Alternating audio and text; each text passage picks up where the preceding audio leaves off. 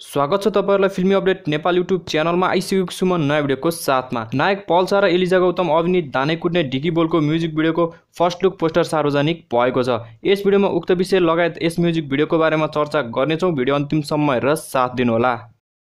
पछिल्लो समय नायक पल्साको ब्याक टु ब्याक म्युजिक भिडियोहरू रिलिज भइरहेको छ। माया गरौँला आलु जस्तो गायक र लाइदिम कि मोहनी यी तिनवटा म्युजिक भिडियोहरू पछिल्लो समय नायक पल्साको युट्युबमा लगातार सार्वजनिक भएको थियो।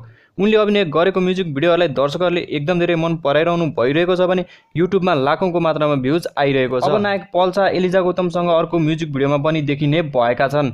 पहिलोपटक पल्सा र एलिजा गौतम एउटै म्युजिक भिडियोमा देखिने भएका छन्।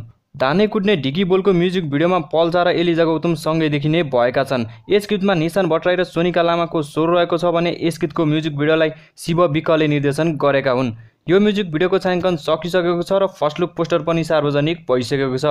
एलिजा गौतमले आफ्नो फेसबुक मार्फत दाने कुट्ने ढिकी बोलको म्युजिक भिडियोको फर्स्ट लुक पोस्टर सार्वजनिक गरेकी छिन्। जुन पोस्टरलाई दर्शकहरूले अहिले एकदम धेरै मन पराउनु भइरहेको छ। अब छिट्टै नै दर्शकहरूले पल्सा र एलिजा गौतम अभिनीत दाने कुट्ने ढिकी बोलको म्युजिक भिडियो युट्युब मार्फत हेर्न पाउनुहुने भएको छ।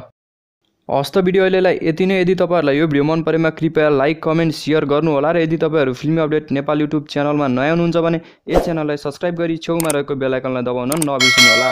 फेरि पनि नयाँ भिडियोको साथमा उपस्थित हुने नै छु भन्दै बिदा चाहन्छु। धन्यवाद।